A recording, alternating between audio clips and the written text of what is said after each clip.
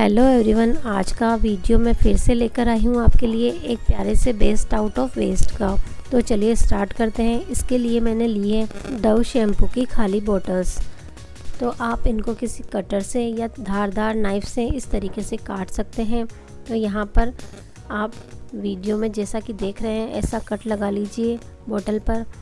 और इससे बहुत ही प्यारा सा प्लांटर बनने वाला है। बहुत ही क्यूट सा प्लांटर बनेगा जो आपके गार्डन को बहुत ही प्यारा सा लुक देगा। तो पीछे से आप इस तरीके से कटिंग कर लीजिए इसकी और इसके ऊपर वाले पार्ट को कट करके हटा दीजिए। अब जो बैक साइड का पार्ट है, उस पर आपको इसको हैंग करने के लिए बनाना है। तो पीछे की साइड से आप इस तरीके से कट करके इसमें एक छेद बना लें, जिससे कि आप इजी वे में कील पर कहीं पर भी आप इसको हैंग कर सकें। तो देखिए, इस तरीके से आपको बोटल्स को कट कर लेना है।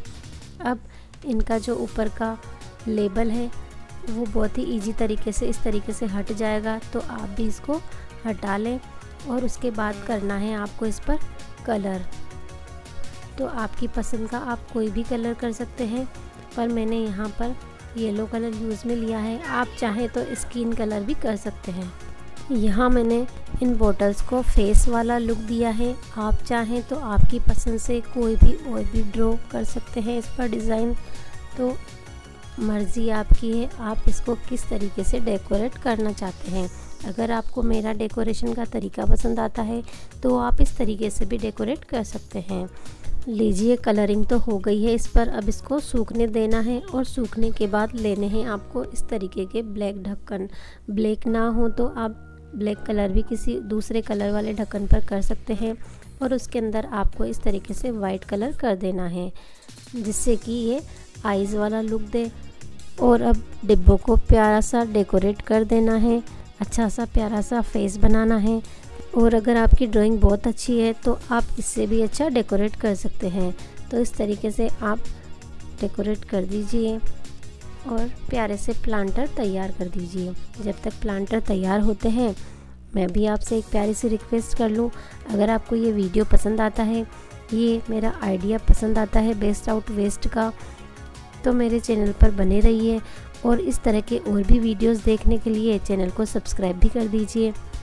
अब इनको ड्राई होने के बाद आपको पेस्ट करनी है इस पर आइस जो कि हमने बोतल के ढक्कन से बनाई है। तो उसके पहले आपको आईब्रो ड्रॉ करनी है।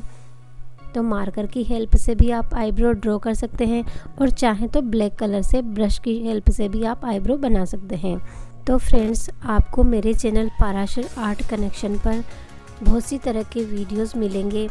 इस पर आपको बेस्ट आउट ऑफ़ वेस्ट के साथ साथ स्कूल कॉलेज के project work TLM model chart बनाना इस तरीके के बहुत सारे वीडियोस आपको यहाँ मिलेंगे। तो अगर आप इंटरेस्टेड हैं तो चैनल को सब्सक्राइब ज़रूर करें।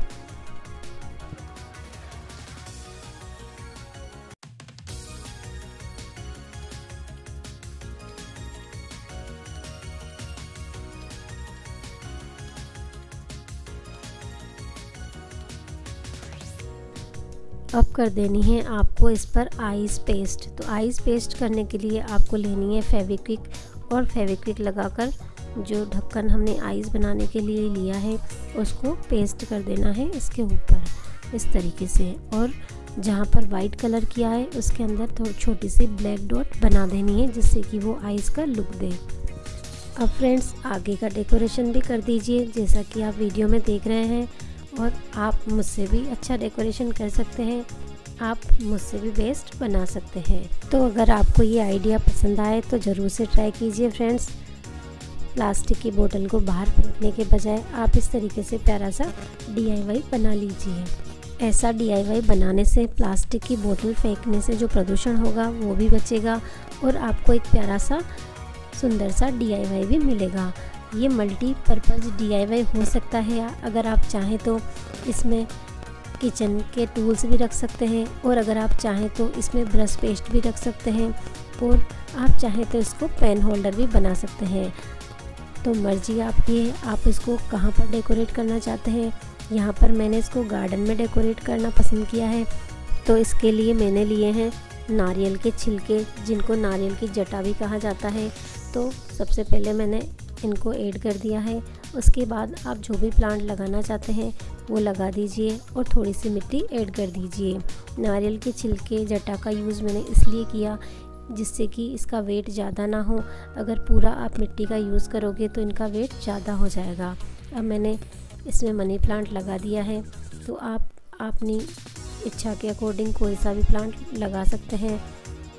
और अब दे देना है इसमें पानी और हैंग कर देना है। आप इनको जहाँ पर भी लगाना चाहते हैं आपके गार्डन में, वहाँ आप इनको हैंग कर दें। बहुत ही प्यारा सा लगेगा आपका गार्डन तो फ्रेंड्स कैसा लगा आपको ये बेस्ट आउट ऑफ़ वेस्ट का आइडिया अगर पसंद आया हो तो वीडियो को लाइक और शेयर कर दीजिए। और मिलते हैं नेक्स्ट वीडियो में। फिर से ऐसे ही नए वीडियो के साथ में, नए आइडिया के साथ में। तब तक के लिए ट्राई कीजिए ये आइडिया